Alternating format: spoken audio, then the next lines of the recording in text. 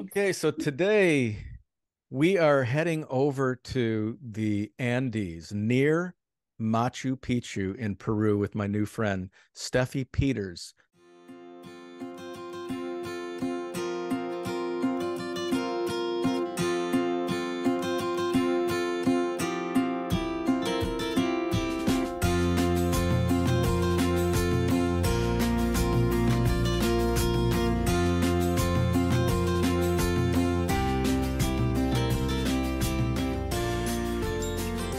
Thanks so much for being a part of the podcast. Thank you for having me. Yeah, Steffi is a you are an artist and um, a psychologist, so an intuitive artist psychologist, and she originates from Belgium, and she is currently living in Huaran. Huaran. Huaran. Yes. Huaran, yes.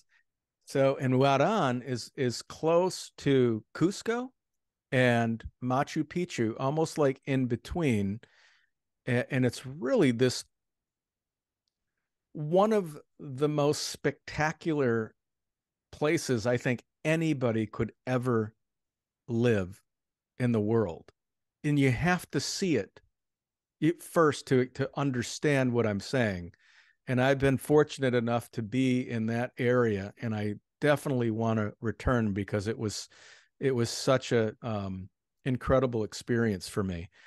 Um, so, well, Steffi, yeah, thanks again for doing this, and tell us a little bit about um, you and you know you're you're a psychologist you, you had, had a practice you mentioned in belgium and then you you had a calling to move to Peru. So, um, to give us a little backstory about that and how you landed in Peru. Yes. So actually, I studied um, psychology in Belgium, and um, in my last year, I had to choose an internship, and there was an internship in Bolivia. So that was basically the first time that I went to Latin America. And I suppose that that was the moment where I kind of lost my heart a little bit to to Latin America, right? So then the next year I went traveling, and somehow I just ended up staying two months of the whole year that I was traveling by myself. I ended up two months being in Peru for some reason. And then, well, I, so I did the trip. I, I was traveling for this whole year. And then I went back home to Belgium. You know, I started working as a psychologist. And then at some point, um, it was actually 2020, February, uh, the beginning of February. And I was sitting at the, the in, in, in my, in my, you know, on the couch in, in the apartment I was renting at the time. And it was very strange. I was just sitting there and I just had this message coming like to my heart or like i don't know i was feeling it in my heart and i felt like i'm moving to peru which is one of the craziest things that had ever happened to me. But the message was there and it felt like something fell into place. It felt so right in a way. And i was like yes why didn't i do this sooner? Right? But mm. yeah so so that's that's when it all started. You know i started to prepare and this and that for for you know for coming here and um, th- that's basically how it went. I got the message. It felt right. So I said, okay, that means I got to do it. And then I mm-hmm. prepared. And then I think one year after that, I was here. Wow, that's that's great. yeah. and so, how long have you been there again? Uh, a year and a half, a little over a year and a half. Okay. Yeah, that's that's awesome. I've had that happen to me a couple times in my life where I was in the midst of just kind of confused and trying to figure out what direction to move in and i was fortunate enough to to um, go somewhere out of my surroundings which helps me kind of connect more with myself and the environment and that's when i start to get certain messages that are bec- that become very very clear. Um, and it sounds like that's the experience you had. It was crystal clear. It made no sense, obviously. You know, sure. You know, to the mind, it's like what, but you know, it, it just it just felt really, really right. Yeah. Yeah. How long do you plan on staying in Peru? You don't know. I don't know until you know I sit in the couch again and I feel another message, you know, go to whatever place. But right Yeah. now I just feel um, good here, and you know, yeah, I'm gonna And are are you practicing your uh, psychology in Peru? yes, You Yes. are. I'm actually combining it even more than I was doing in Belgium. I'm combining it very much with with art, so like the creative therapy aspect. Um, yeah, which I think is so much more fun. and really Okay. helps us go to the core. Yeah. And you do that online, I'm guessing, virtually? I do it online, but I also do it um, here. Um, you know, there's like a healing center nearby where I can, you know, go and offer my services. Or sometimes I go out with people in nature and we do it over there. Yeah, yeah. Well, let me pull up a map so we can show people where you live. Um, okay, so here's the map. And all right, let me bring that out. So I'm going to bring it further out. So the region that you're in is in the, the just below Lima. It's heading east, southeast towards Cusco in Peru. And just be- below Ecuador, connected to Colombia, Bolivia, Chile, just a sensational area. Brazil and Peru has an incredible rainforest where the Amazon is located. And I spent a little time up there as well, which is absolutely amazing. Okay, so if we move in closer here, so what makes this area extraordinary? You really can't tell by this map, but how high it is. It, it it's way above sea level. So I know Cusco is over eleven thousand feet above um, sea level, and typically what what people do when they arrive to Cusco is they chew on co- coca leaves for a couple days to become acclimated because there's m- most um, visitors and tourists they experience altitude sickness and i know i did when i was there and then some of the locals gave me some coca leaves and i chewed on those for the next two days you know and um and it took a couple days before i acclimated and felt better. But cusco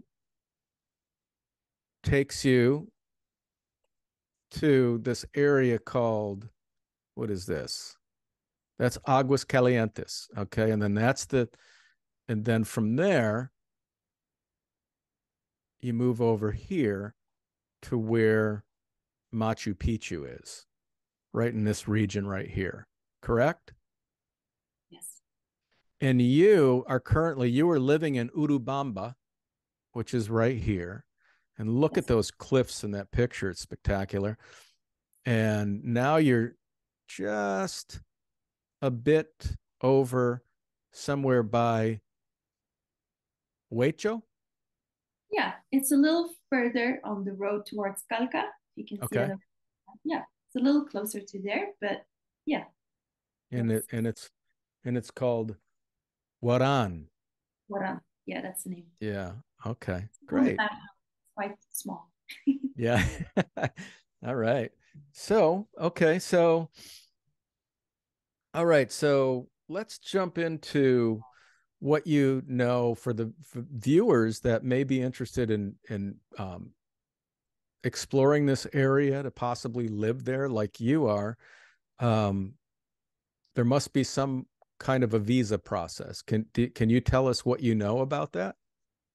Yes, so you know, obviously, if you're coming as a tourist, you know, you can stay here for three months. That's like, unless that has changed recently, but it was always like three months, and you can just, you know, come and go, whatever.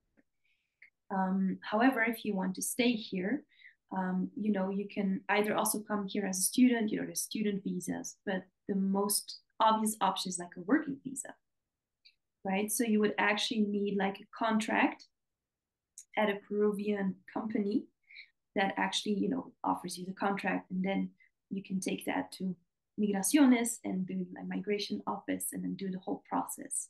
And uh, yeah, then you basically obtain a visa if all the documents are in order. And that's the work visa. That's the work visa, correct? Is that the visa that you you obtained? Yes. yes. Okay.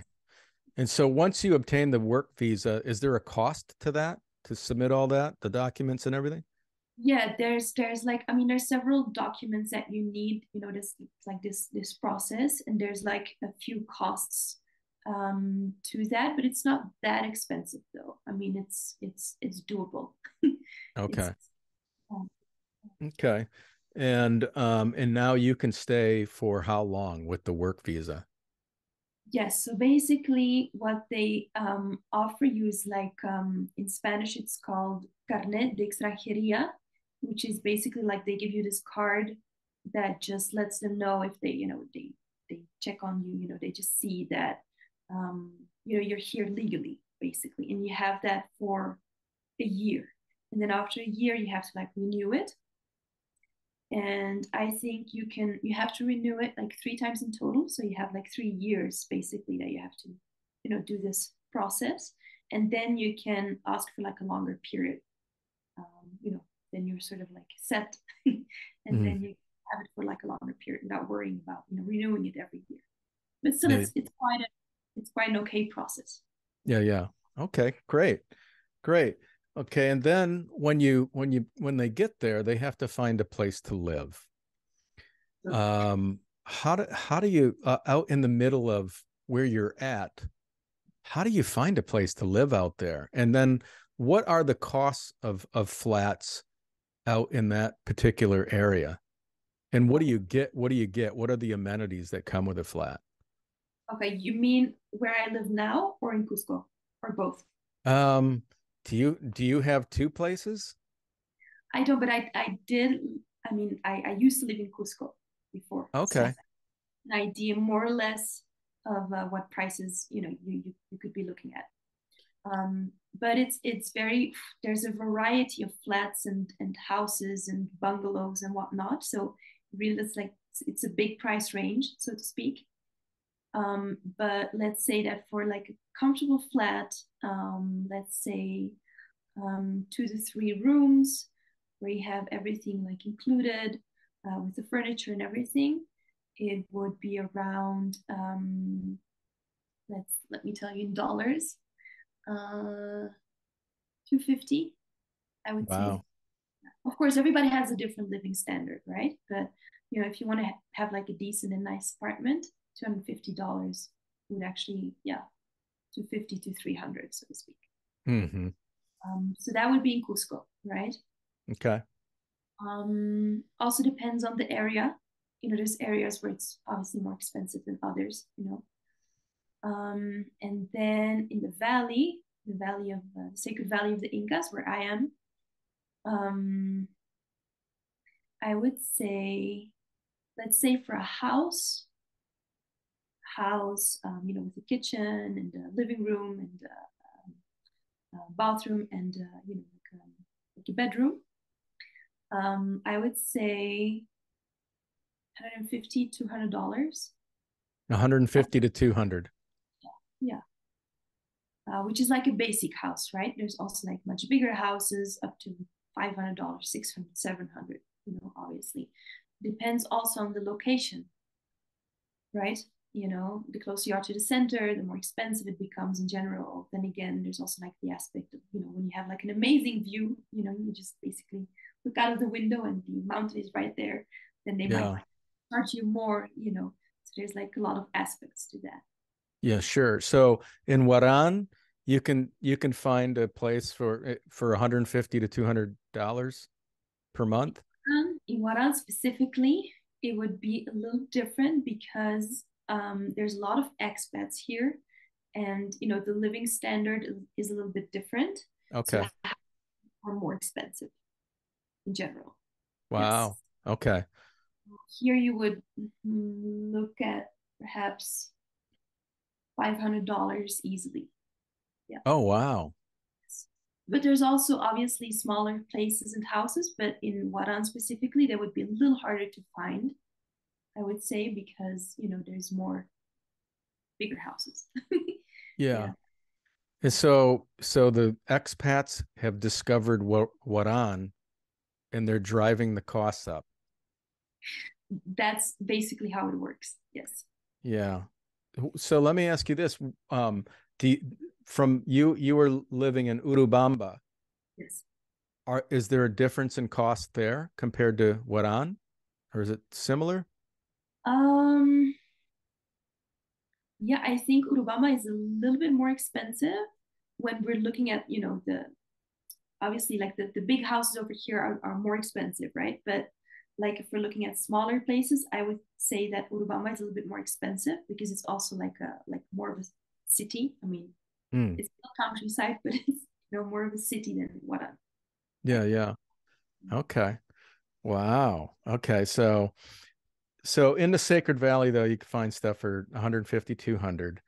Depending, though, um, like Huaran, because it's been discovered by expats, it's a little bit more costly. Uh-huh. In general. Who, now, who are the expats that are moving to Peru? Where are they coming from? Um, there's a lot of people coming from the States. Really? Yes, definitely. Wow. People coming from the States. Um, there's in general um, also French people, but I think right right here it would be more Americans. I think. Yeah, wow, that's interesting to me. And uh, are are the Americans that are there? Do they stay full time, or are they just doing it temporarily? Um, there's quite a bit of people who stay for a very long time, who've been here for 10, 15 years, um, mm-hmm. lost their heart here. So, yeah. And are they typically retirees, would you say? Or are they people mm-hmm. that are like digital nomads working online and just wanting to live in that particular region of yeah, Peru? I, I, see a little bit of everything, to be honest. Mm. I think there's also quite a bit of people who um, who have their own projects here in Peru. You know, they start like an NGO or something, you know, like very, very kind people, really, like doing very, very nice things. Mm-hmm. Um, course, there's also like a group of people that's retired, but uh, I think they are maybe a little bit closer to Cusco. I think mm-hmm. here I see like more people who are still like very much like engaged in, in societal activities, community work, and stuff like that. Yeah, yeah. And how? And here's my big question: How many Belgians are in the Sacred Valley? well, in my experience, not too many, but there's I, have met a few. I've met a few. really? Yeah, totally. So you have met some people from from your okay, wow, that's that's impressive. Yeah. And then they get married to Peruvians. Right. Quite a bit. no, that's awesome. That's awesome. Okay, so we were getting into um the real estate aspect um, is it possible for people that move to peru to purchase real estate? And if so do you know much about like the cost of real estate if people are buying land or if they're actually buying flats or houses? I see quite a bit of people who buy actually buy land and then you know obviously start building um, constructing etc yeah, yeah. Uh, sometimes the land comes with a house, but sometimes they just, you know, build their own house. Um, yeah, so it is possible. Um, I also hear that it's not that easy. Um, there's a lot of paperwork involved. Um, obviously, not impossible. Like my friend just bought her own land, so and you know they're building, so it's possible. Um, but I hear that it's good to sort of have a lawyer or someone who sort of looks at the documents, make sure that everything is in order because, you know, people try stuff. you know, yeah. when you sell new land, they try stuff, and there's a lot of that going on. So it's good to be cautious. Sure. Yeah. Do Do you know what the what the going rates are for property or people building a house or even buying a house? Yeah, I, I have to be honest, I'm not sure. I also see that prices vary, like very much. Um, and I suppose that you know when it's like um, quite cheap, it's good to be even more prudent, right? Um, also, like the Sacred Valley is very loved. You know, many people want to live here, so sometimes prices are like quite high. Okay. Yeah. Wow. Interesting. Okay. So that is it's a really desirable area there. Absolutely. Now, the Sacred Valley, that's where the Inca Trail is, correct? Mm-hmm. So that's do you so that's the it's almost like a pilgrimage where some people, you know, I, I guess they it takes them what three or four, sometimes five days to to walk the Inca Trail to Machu Picchu. Do you see them walking through your backyard? I don't. I don't, but that would be great. yeah, it's it's quite a it's quite an intense um, hike and uh, trail. Yeah. And you've done it? I haven't actually. No. Have Yet. you walked in any parts of those trails at all, though? Have you hiked in any of those areas? N- near, you know, Yeah. uh, but there there's so many amazing hikes and trails over here. It's it's it's amazing. It's crazy. I mean, obviously the Inca Trail is, is the most famous one, one of the most famous ones. But Yeah. there's so much beauty here. Yeah. Yeah, th- there absolutely is. Okay. And um, so let's let's I'm curious about um in Huaran. Okay, so the big hub and the big the big city out there, and it's really an impressive city is is Cusco. So how do you how do you get to to Cusco? How do you get around? And how long how long would it take you to to get there? Right. So, um, well, I don't have a car. I don't own a car. Many people do. Lucky, lucky for you. I'd love to not have a car. Okay, well, depends how you look at it, but there's a lot of quite a bit of public transport. So mm, basically, what I would do from Huaran specifically is I would go to Pisac, which I mean, we, it, it's also on the map. Like go to Pisac, Mhm. and then from Pisac, basically, um, I mean, it's it's the same route. I mean, you don't go off the bus, then you go to Cusco, right? So it's all the way to Pisac and then to Cusco. Basically. Okay.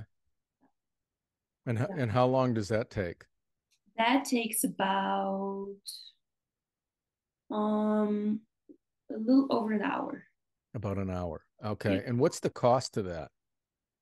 That's like um seven soles, which is about a little less than two dollars. So it's really nothing. So two dollars. Wow. That's Yeah. expensive to get around there. Yeah, and then the, the journey is also very it's it's very beautiful. Yeah, Yeah, I bet. And so do you do you head to Cusco quite often? Uh yeah, I do actually. I do like, you know, getting out of, you know, the, the most quiet place on earth from time to time to to go to Cusco and have some, you know, experience the city life. Mhm. Yeah. So that so you said there is quite a bit of transportation and th- these are vans or are they buses that you get on? Vans. There's They also vans. buses, Um, but the vans are actually most popular. The, the vans are okay. Are okay, so are there like animals that people are using for transportation? Uh, there aren't no alpacas to to get around. No, no. I think that uh I think don't they use like some some like donkeys or what do they call them? To, Uh, like some for for people that are maybe having a difficulty on certain hikes. Sometimes they take animals where people can get on them because they're too exhausted. Really, May- maybe oh, maybe the the more like touristic activities. Maybe they have some, perhaps. I'm not sure about that, to be honest. Okay. Yeah. Okay. Yeah. Yeah, well, I and I now do you see do you see llamas all around where you're at? I see the beautiful picture behind you of Yes. of the llamas.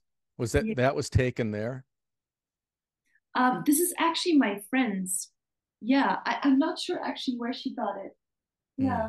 but it could have been taken here because usually they have these, uh, you know, earring kind of uh, thingies. Yeah. Oh, yeah. there's such there's such beautiful animals, mm. just beautiful animals.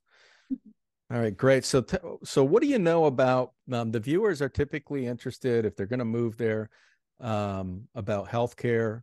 I know that you you mentioned you don't know much, but what do you what have you heard for people that move there? Do, do they typically have private insurance, or are they finding a way to utilize the insurance available to them through Peru? What do you know? Yeah. So sometimes, obviously, people when they still have like their, um, you know, when they're still registered, so to speak, in their country of origin, you know, sometimes they continue to just, you know, have those um, services available to them. However, you know, here, like specifically in Peru, there's like, um, you know, you have like private healthcare, which is extremely expensive and just pretty much unaffordable to most of the people who are living here. And then there's, you know, the not non-private healthcare, which is a little bit of a more complicated system and you know not always advisable um, to, to, to go there because of structural problems. Mm. Um, but when people get like a job here, you know, um, they work at a company, then they do get like a health insurance, which covers like, you know, some basic um, expenses. Mm-hmm. Yeah, healthcare. So, so yeah and I'm guessing that the the jobs that people that aren't from Peru obtain there are probably working for like NGOs or yeah you see a lot of that definitely yeah yeah there's a lot of that okay. Yeah. okay. All right. What do you eat there? What kind of food do you eat and what's the mountain food like out there? Oh it's like it's it's it's a lot. It's like it's like the um quinoa you know or rice. Oh yeah. Those and there's like meat and there's vegetables and you know it's like a lot but obviously people especially people who work here and do very like physical work they also like sort of need that right mm-hmm. yeah. yeah it's part of the culture because there's some because it's there's a lot of hard work out Absolutely. there in the in the mountains so the so the typical so going are there are there restaurants near you like um, typical um, Peruvian restaurants nearby? Yeah. Yeah. And so what would a meal cost to to to go out to eat for you? Um, so so what they offer here are like um, they call it like menus, like menu, mm-hmm. right? So they basically it's like a soup. Then it's like the main course, and then you also like receive like a, like a drink of some sort so that's that's how they basically offer it right mm-hmm. and you know it would be like a typical peruvian menu so to speak um would be yeah easily just one or two dollars perhaps. It's very wow. for a meal out there. Yeah for the whole like the soup and the main course and and everything. Yeah yeah. It now, for people that um, have vegan diets, mm. are there um, places to eat yes. out there for them as well? There are. Um, you know, in Cusco, obviously, it's a little um, easier, you know, to get that kind of food because you know everything is more like you know close by, and there's there's more tourists there than mm-hmm. here um but yes there's definitely options you just sometimes you have to like make an effort to you know to find them you know yeah. it's not always that easy sort of even for me it's it's like uh, it's a little hard to sort of filter out is this really like you know the product that i'm looking for or like is it really like mm-hmm. strictly up so to speak and then in the middle and so you're so you're you're quite a ways outside a major city where do you go to buy your food and um, are there like local markets nearby you? Yes, I love going to the market. okay. So here specifically in in Huaran, um, there's like just um, you know like a ten minute walk to the main road. Um, there's like a shop with organic products, and there's also like you know vegetables and stuff like this. And then they have like every Friday morning, um, there's like a few um, a few women who are selling at you know there's like a like just a space like by the by the main road so you can go there like every friday mm-hmm. is a little bit like i said it's tiny so i think that most people who own cars perhaps you know would, would go to urubamba for example where it's like a big market mm-hmm. right so there's like i mean it's it's just full you can basically find everything Okay. And the, okay, a big. So when you go to these markets and you buy the what type of foods do you do you actually buy and and what kind of foods are you cooking? What kind of meals are you making for yourself? Well, uh, vegan vegan meals. So you know, no, it's just a lot of uh, vegetables. Um, like I love quinoa. Mm-hmm. Uh huh.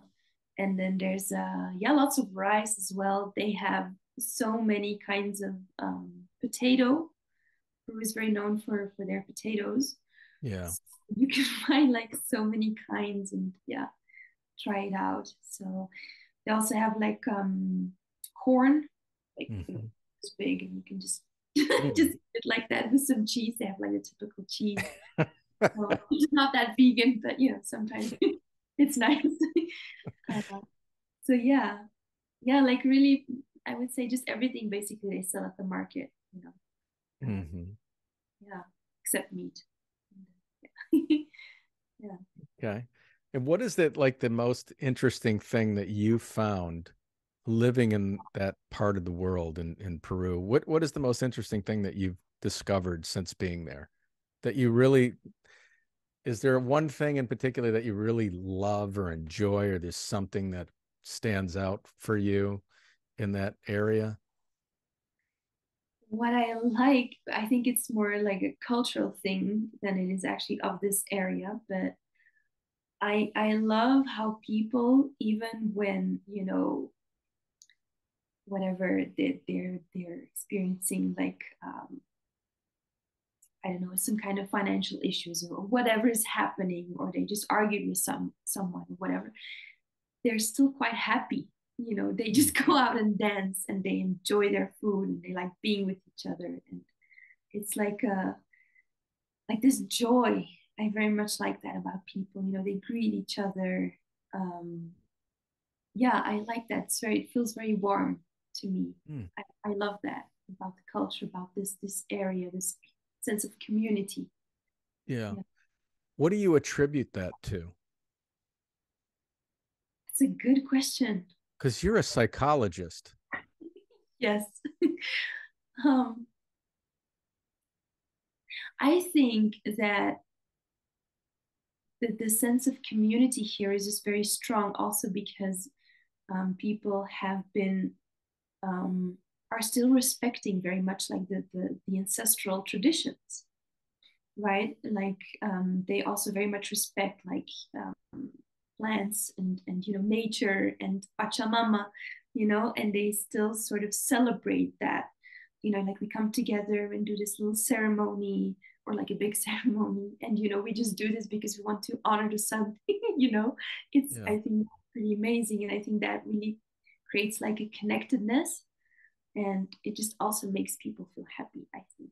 You know it's just it's very sincere. It's very like you know you mm. consider life as a kind of miracle, then you know everything changes. Yeah. Yeah. Hmm. Do you think that that's something that um, we lost in, in the West? You know, where I guess we're we're we're so much more the, the society has become so complex and sophisticated that it removes the simplicity mm-hmm. out of out of life itself and and there's a lot of st- stress when there's not simplicity any longer i think and connectedness mm-hmm. you know that that's i don't know you i wonder if i wonder if that's it it makes sense to me because we're so wired in the West. Every you know, twenty four seven. You know, you have access to to to f- food to constant information um, you know i almost a lot of times when i do these these podcasts i i forget to turn my phone off because i'm getting buzzed all the time by messages and and information that's constantly coming in mm-hmm. and then you're like oh i got i got to do i got to answer that right away? Do i and you but i would guess the the people in those communities out there aren't concerned about any of that. It's just so much more simplistic. Mm-hmm. exactly yes. And um i think that's also the beauty of it you know and you you sometimes you know like going to the market and coming back with your abundance of food is just that was your morning you know? Yeah. And no, no one is wondering like you know oh have we been productive enough? You know? And sometimes like obviously you know higher up in the mountains don't even your phone doesn't even work right? Yeah. So i mean there's always pros and cons but i think like it's also like very for me it's very liberating also like being you know um too yeah. loud a minute. Sure. What city are you from in belgium i'm actually from zaventem which is very close to brussels okay so it's yeah. like is it a suburb of brussels no it's not a suburb it's actually a little bit outside of brussels but it's actually where the where the airport is so people basically a lot of people land there. it's a large population. Yeah.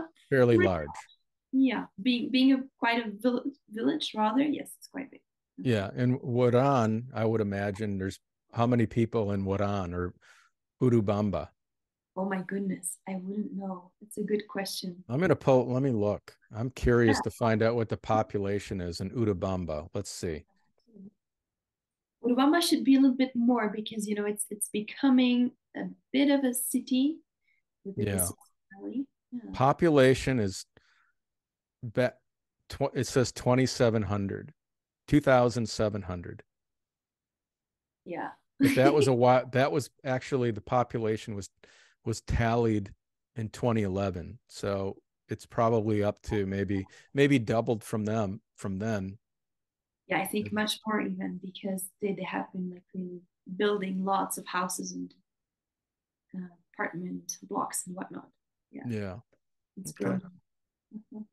Well, Steffi, what do you do? What what do you do for fun in that that that um in your world? What do you do for fun out there? What do I do for fun? Well, depends on how you define fun, right? But I love to just, you know, go on walks with friends. That's fun to me. obviously I also like you know going to like a like a like a live concert. When I'm in Cusco, I like to go and dance salsa, which is also quite popular here. Um, or you know just have drinks with people with friends. Um, yeah, but it's also what is nice, especially about Cusco, is that um, you know being being like a like a big city, you know you can just still go and see ruins you know you just take a bus and then or you you know just whatever hike up there and so so yeah it has a lot a lot to give i feel yeah.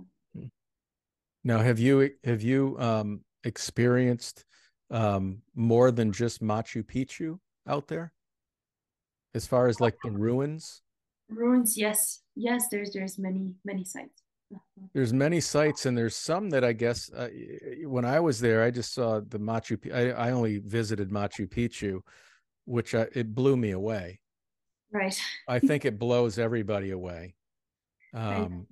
And I I've shared this. You know, I've been I've been fortunate to go to to to experience um, the Great Pyramids in Cairo, and when I and that was really I was in awe right in Cairo. But when I saw Machu Picchu, I was like, whoa. I, it just, I mean, there was no real comparison. I mean, they're very different, but just being being in the Andes on top of the world and looking at all of these these ravine these deep ravines and just it, it is absolutely spectacular. And then I understand that there's some other I forget the names of them. I I was reading I have a book on Machu Picchu that I was reading. It was a gift that somebody gave to me a while back, but um, it was talking about some other areas um, that have some spectacular ruins quite close quite quite close as well. And i would think boy i if i lived there i would probably try to figure out how to hike and experience those every weekend or something. Yeah. Yeah it's, people, it's really special. Mm-hmm. do people do that there? Do like the locals do that? Yeah you know the locals a little less but still no i do i do know people who just like to go and hike and go up there right mm-hmm. just um yeah or sometimes even like do a picnic or something you know yeah. how really many fun. how often have you been to machu picchu i've only been once only once okay mm-hmm. and um but you're like how far away is it again about you're about an hour a little over an hour away from machu picchu yeah it would be a little longer because then you have to like take like a train and this and that but yeah i mean it's close it's close yeah so, and then to to get to Machu Picchu, they don't charge to get in, correct? There's no there's no cost to get in. To get no, in, there is a cost. Oh, there is a cost. Yeah. Oh, I didn't have I didn't have to pay a cost when I went. Really? Oh. Yeah. I snuck in I snuck in the back way. Oh, there you go. That's the one. That's the one. Which is also possible. It's totally possible. Yeah. you have to make sure you like you have a good guide and you know. Yeah, exactly. Give them a little extra. yeah. yeah. All right. Well, that's really all I I have. Um, Steffi, is there anything else that you you could um that maybe we didn't cover that could be beneficial for the viewers that uh, are considering possibly moving to Peru and, and moving to that region? Is there anything we haven't covered? Um, I think we basically covered the essence. Yeah. Um, but also maybe just just one last thing would be, you know, there's like a lot of uh, Facebook groups, you know, where people can really like obtain a lot of um, valuable information. And there's also like a lot of people asking like, oh, I'm considering moving to Peru. You know, what are things that I should know, this and that. So um, that's also like you know they're usually called like expats in Peru or something like this, you know, so people can also like find some information there if they would want mm. to. Yeah. All right. Well, yeah. Steffi Pieters, thank you so much for doing this today. Thank you. It's, a, it's such a pleasure meeting you, and um, thanks for sharing all of the, this information for our viewers. Thank you. My pleasure. yeah, and you have a, a great rest of the day, and um, and I'll talk to you soon. And then I'll I'll put all of any links that you want me to share at the end of this podcast, and uh, so that people can can find you. Um, awesome. And uh, all right, great. Well, have a great day. You too. okay. Bye bye. Bye bye.